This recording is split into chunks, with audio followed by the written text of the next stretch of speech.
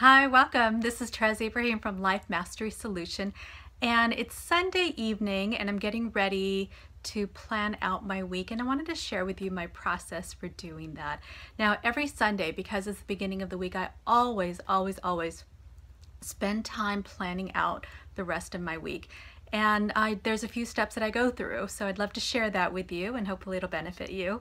Um, the first step I do is always set the intention who am I required to show up as? Who do I want to be? What what qualities, what characteristics do I want to bring out in me? So what is my intention for the week? For me as a person, for me as a woman, for me as a business owner, for me as a speaker, author, trainer, coach. I set the intention for who am I wanting to show up at? Who am I wanting to be? and then I create my schedule from that place. The next thing I look at are what are my goals? What are my big picture goals and how have I broken them down for this week. Now I do this in the beginning of the year and I do this every month. And so for the week I look at my month long goals and then I look at, well, what are my goals? I break them down to this week. What is it that I'm required to complete? What is important for me this week to accomplish? Now that I have my goals, I have the big picture. I look at my projects and I've got my project board over here. I'll take give you a little quick peek of that. Um, and I've got my project board and it's got everything that is important to me and how I've um, all the tasks involved and all the um, the and I've chunked them into groups. And so I look at that and I ask myself, okay, so what it what needs what what is required? What is required for me to complete this week?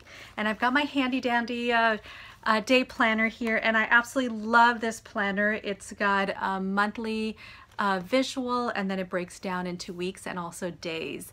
And I'm still a paper and pen girl. I, um, I know a lot of people are going to the automated system, but I love to see it visually. I love to hold it in my hand. I love to write. There's power in having ideas and all of your intentions and everything um, on written form. So I, I definitely still use this.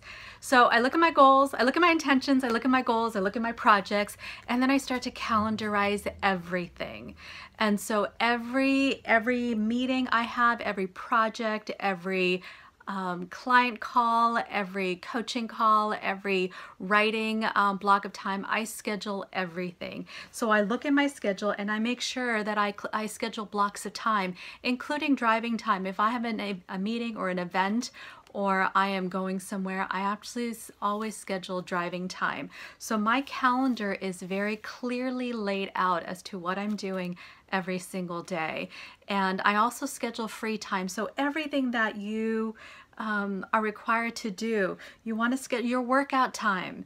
Um, you want to schedule your family time, your creative time, your, uh, again, your writing time, whatever it is, um, family relationships, all of that into blocks of time. So you are, you start to own your day and you start to own your schedule and you start to be in control of what you spend your time doing. And this allows you to create more freedom for yourself.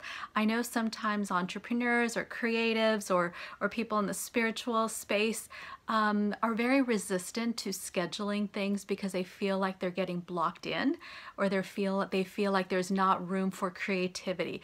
But I promise you as a recovering spiritual, let's just do whatever I feel like in the moment. Let me just be present to what I feel like. I realized I was not being productive because I was wasting a lot of time and I was waiting for, you know, a surge of energy to, um, I was waiting for something to tell me what to do and nothing was happening. So it's important that I schedule my, my days and my time. And what I found is I've created a lot more freedom for myself and I've created a lot more effortless flow in my life because things start to get complete. So I'm not carrying the baggage from the incompletes from the previous day. So I encourage you to take some time out today, set your intention for the week what is it that it's that's important to you? How are you required to show up as? Who are you cry who are you required to be? And that's who are you required to be for your business for your clients for uh, the team that looks up to you, the team that's looking for direction from you, your family, your significant others, who are you required to be? And then look at what are your goals? What is it that you want to accomplish this week? What are the projects? What are the tasks? What are the things that need to get done? and um, and start to schedule it and schedule everything. That's relationship time. That's um, creative time. That's taking care of your body. That's giving yourself blocks of free time. Schedule your free time. Schedule your bedtime. Schedule your learning time. Schedule your meditation time. Everything. Put everything down in writing and um, and you'll find that when you have start to be to when you start to be in control of your day you will start to feel a lot more free and you will start to feel a lot more productive so have a beautiful week let me know how this works for you and we'll see you soon bye